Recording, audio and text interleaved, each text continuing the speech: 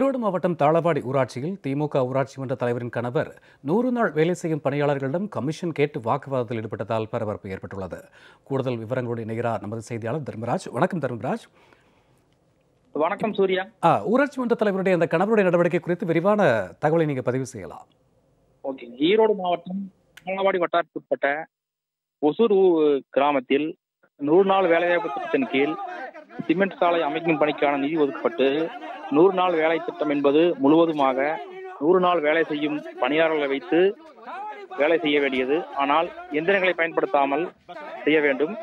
இதையடுத்து அந்த கிராம மக்கள் இன்று பணியை தொடங்கினார்கள். அங்கு சென்ற தாளவாடி திமுக ஊராட்சி மன்ற தலைவர் தலைவர் திராட்சாயனின் கணவர் குமார் ஏசிபியை வைத்து வேலையை தொடங்கி இருக்கிறார் பொதுமக்கள் செய்யக்கூடாது என கூறி ஆனாலும் தனக்கு கமிஷன் கொடுத்தால் மட்டுமே இந்த வேலையை செய்ய விடுவேன். இல்லை என்றால் யாரையும் செய்ய விட மாட்டேன் என அங்கு வாக்குவாதத்தில் ஈடுபட்டார். இதனால் ஆத்திரமடைந்த அந்த கிராம மக்கள் அவருடன் வாக்குவாதத்தில் ஈடுபட்டனர். இதன் தொடர்ச்சியாக ஒசூர் கிராமத்தில் இருந்து ஊராட்சி மன்ற தலைவரின் கணவர் அங்கிருந்து கிளம்பி சென்று விட்டார்.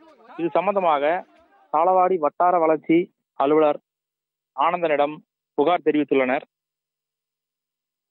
தொடர்ச்சியாக கிராம சபை கூட்டங்களிலும் கேள்வி கேட்கும் பொதுமக்களை மிரட்டுவது என தொடர்ச்சியாக அடுக்கடுக்கான பல புகார்களை பொதுமக்கள் கூறுகின்றனர்.